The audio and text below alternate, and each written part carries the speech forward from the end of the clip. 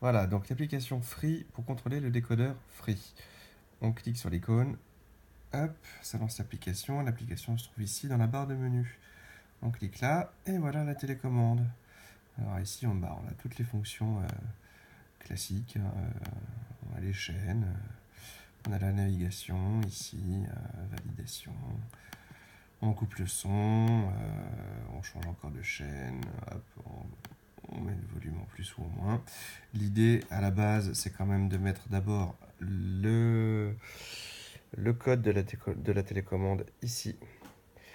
Et puis euh, on fait entrer, hop.